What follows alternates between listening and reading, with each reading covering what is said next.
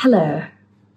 Is that all right? Oh, I said hello. Not really, no. Do I need to tell them what my name is? Yeah, Hello, my name is you've Lucy. done the wrong hi again.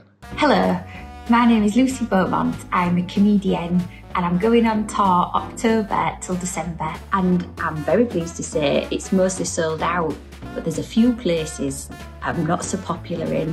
When I say they're not selling, they are. Everywhere's selling really well. There's just a couple of places that could, if, if you live within 10 miles of the area, are free and want to pay for a ticket, then like Middlesbrough, um, Newcastle, Dublin, Dundee. I think I'm going to Edinburgh.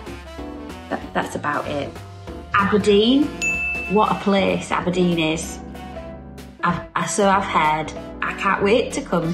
It's one one of the most exciting places on the list. I think if you live in Aberdeen, this show is going to be really funny.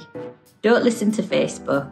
Don't listen to men who, when you click on the profile, it's them holding a massive fish on a boat. They're not my fans.